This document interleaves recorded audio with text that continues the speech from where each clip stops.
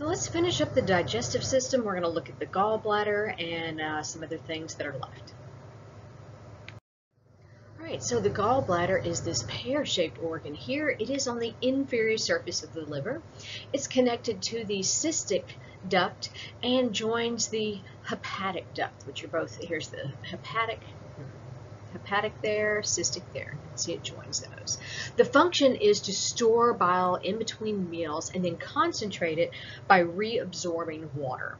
Um, it also uh, you can have issues with it when you get things like gallstones, right? We've heard gallstones, we know they're very painful.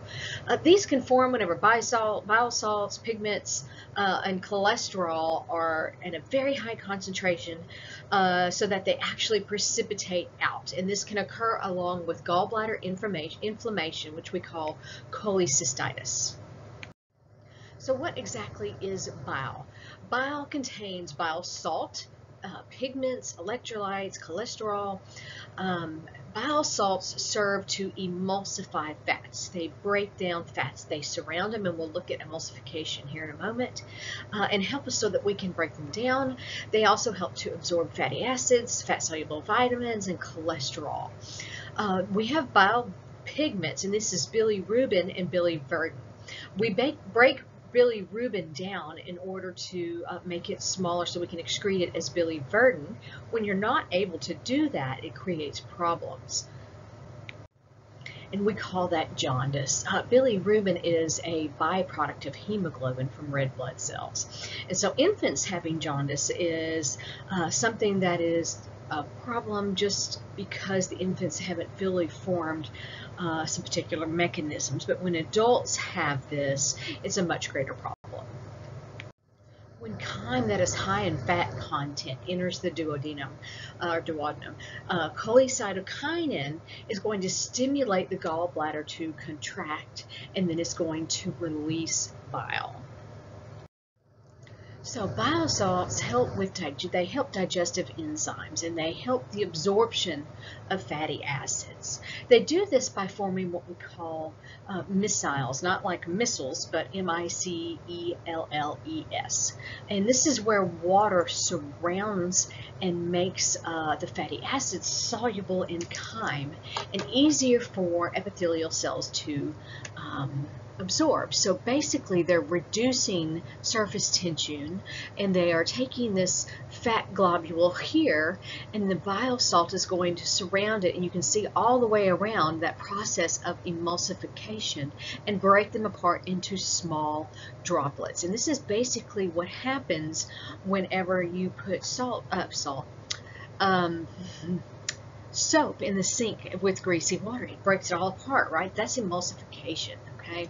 So without the aid of bile, you will very poorly be able to absorb lipids. They just won't work very well, and that will cause vitamin deficiencies because um, lipids help us to absorb fat-soluble vitamins, vitamins like A, D, E, and K, and then we can actually recycle and use those bile salts again and return them to the liver.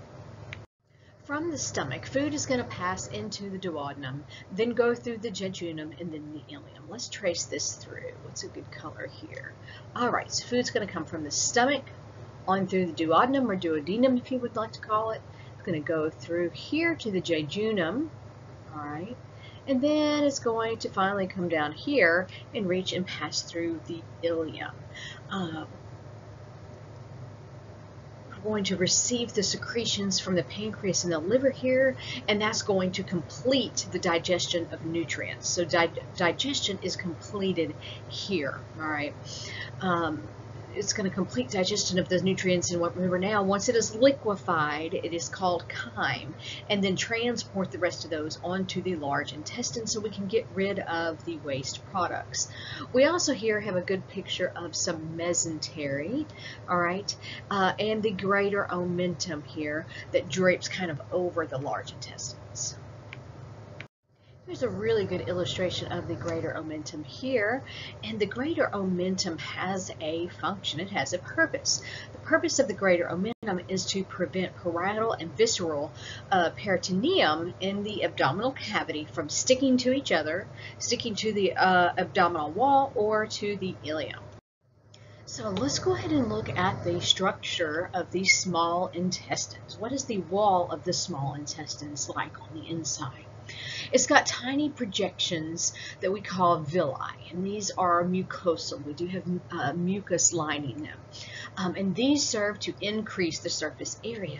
So if we have a, a surface that is like this, or a surface that is like this, which one will have more surface area?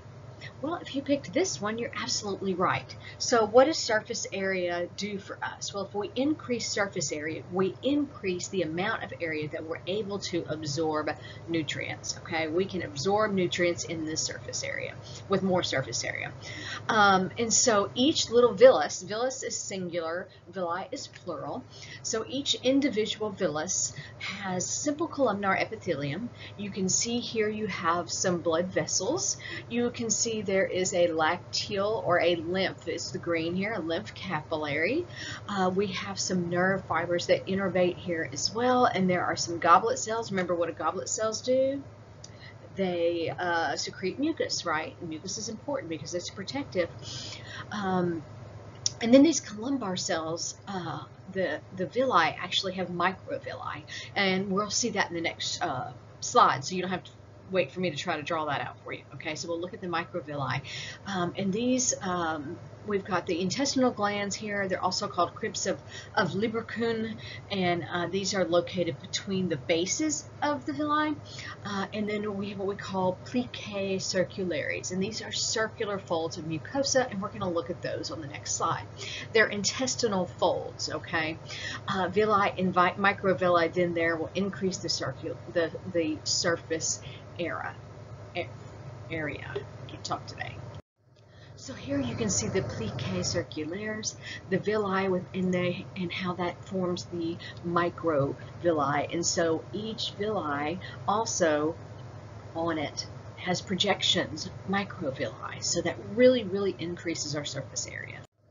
So what type of secretions does the small intestine have? Well, you probably haven't ever thought about the small intestine actually secreting.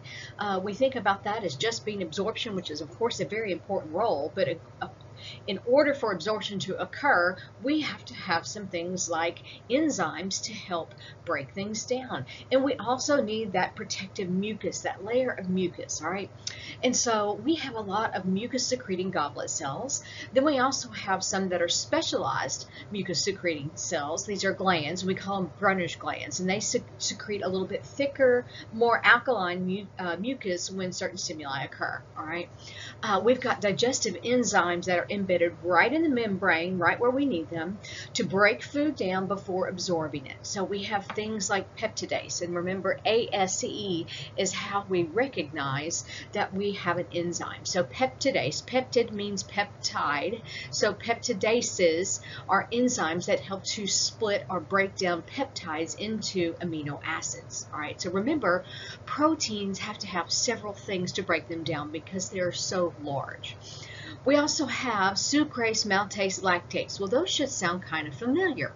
ASC means it's an enzyme. Well, what is the, what are those enzymes working on? Well, sucrase helps to split disaccharides like sucrose. Maltase splits a disaccharide into the monosaccharide maltose and lactase breaks it down to will break down lactose okay and so we also have intestinal lipase and that's going to split fatty acids and glycerol okay? So it's going to break those down all right, so those are the enzymes here. Those are really important. Be sure that you know these. Uh, know these enzymes right here. And then here are the hormones that are secreted uh, by the small intestine. And we did talk about these in previous slides, but they're worth repeating. We've got enterokinase, and that is going to take the inactive form trypsinogen, remember ogen means precursor molecule, and convert it to trypsin. And then the trypsin will go on and uh, trigger a few other things. And then we had had somatostatin that's going to inhibit hydrochloric acid secretion by the stomach. Cholecystokinin, remember that is C CCK, cholecystokinin, and that inhibits gastric glands. It will stimulate the pancreas to release some of the pancreatic juice and to stimulate the gallbladder to release that bile, which is important. And then lastly here we have secretin, which uh, stimulates the pancreas to uh, secrete those bicarbonate ions. So remember that those are to help act as a buffer.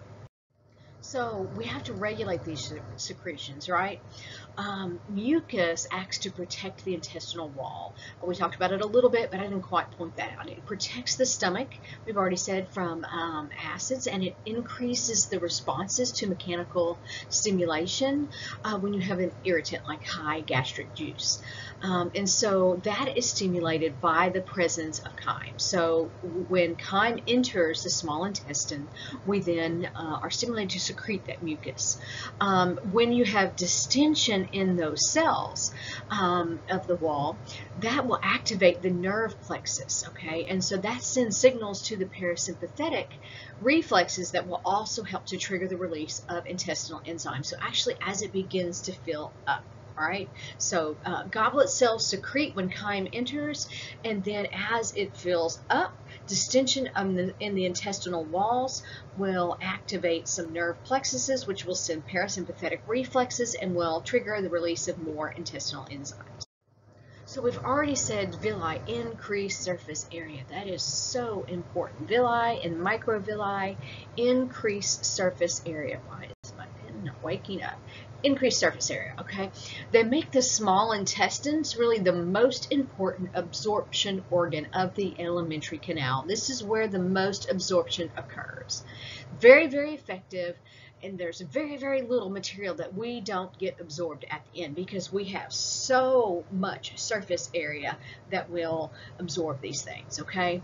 So, uh, monosaccharides, which are simple sugars, and amino acids, how are they uh, absorbed? These guys are absorbed, and you need to know where they're absorbed to. So this part right here, this is important.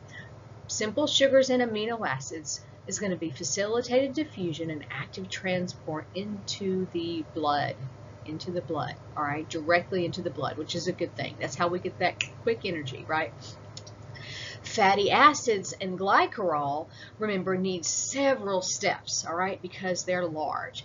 That's going to go into the lymph and the blood, all right? And then electrolytes are going to move uh, in several ways, diffusion, osmosis, and active transport, and those are going to go straight into the blood. This is a really good chart from your textbook. You need to take this and make some um, flashcards of it right? And so uh, mostly I just want you to focus on um, how it's absorbed and where, which part of the alimentary canal, and then where is it going to? Okay, is it going to the blood or the lymph? Alright, so let's look at this picture here in the top. We're looking at digestion, breaking down a complex carb. There's a disaccharide there, maltose, so here we have maltose. Uh, it's breaking that complex carb down into simple carbs. So it's splitting it into two glucose molecules so that they're small enough to be absorbed. In the middle here, we're looking at protein digestion. That begins in the stomach via pepsin, okay? Peptide is, is triggered by pepsin and it is completed in the small intestines. So remember, peptides take multiple steps. Start in the stomach, end in the small intestines. Larger molecules are broken down into amino acids, all right? And then here at the bottom, we're looking at fat digestion, okay? Fat digestion is done almost completely in the intestines, in the intestines. Here we're looking at how fatty acid molecules are broken down. So we're going to start over here in step one. All right.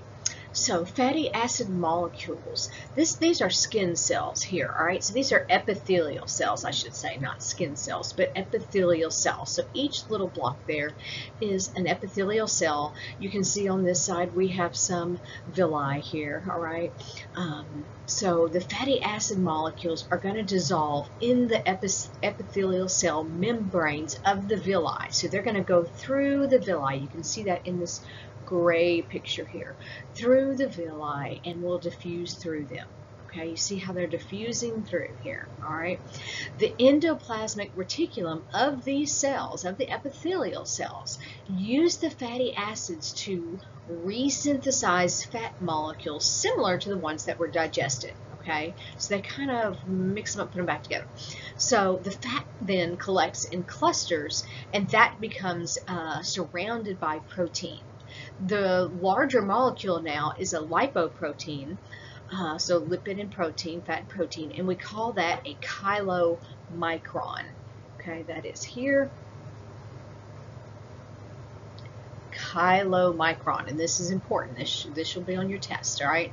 And the chylomicron then will make their way to the lacteal, which remember is part of the lymphatic system of the villi. And then we will have contractions of smooth muscles in the villi that's going to help empty the lacteals into cisterna, and that is an expansion basically of the thoracic duct. So it's going to the thoracic duct duct, not duct, The lymph carries the chylomicrons into the bloodstream, basically. So we talked a little bit about movements of the small intestine. We we talked about the peristalsis, which is the wave-like movement going down, and then we talked about the mixing and churning, which is kind of more uh, mixing everything up, right? So that's segmentation. That's the ring-like contractions, moving the chyme back and forth and back and uh, so if the small intestine gets really, really distended or really, really irritated, you can have, and you have probably experienced this in your life, what's called a peristaltic rush. And that's when you have to run to the bathroom urgently because you have diarrhea. So if it becomes too full or irritated, it's going to flush everything out really quickly. Um, we also have the ileocecal sphincter, which joins the small intestine to the large intestine. Um, and another uh, point about the large intestine is it's it's named large intestine because it's much larger than the small intestine, but important to point out, I guess. So moving from the small intestine to the large intestine, we already said it's named large intestine because it's duh, larger, right? We have five parts here, and it's important that you know these five parts, okay? And so the first one is going to be the cecum, okay? So the cecum. We also then have the colon, and we have ascending colon, transverse colon here. So ascending colon, transverse colon, descending colon. Uh, and then we also have the S-shaped kind of S-shaped sigmoid colon. That's where the S comes from.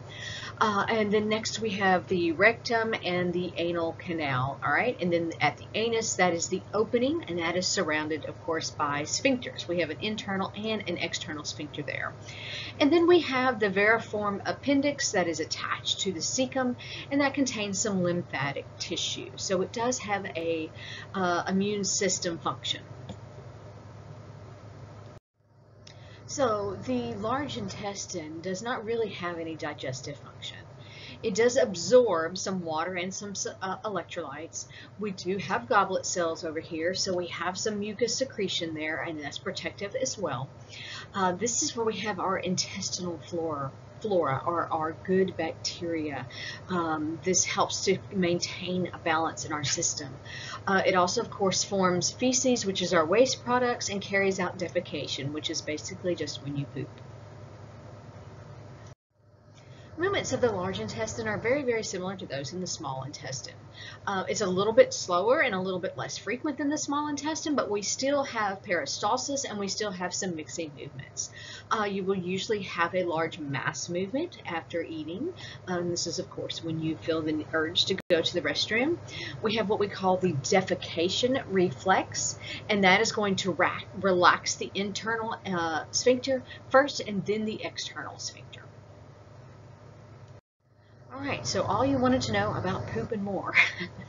what are feces made of? Well, they're made of everything that's not digested or absorbed, which is going to be some water, some electrolytes, mucus, uh, bacteria, uh, bile pigments that are uh, altered by bacteria uh, actually give the color to poop. Um, and then, of course, we have uh, undigested material like cellulose that we're not able to digest.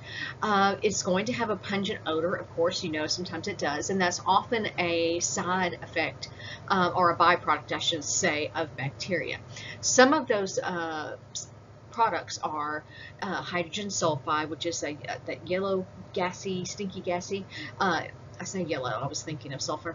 Um, indole, uh, ammonia, and those are some smells that you are kind of familiar with. So what happens to the um, digestive system as we get older?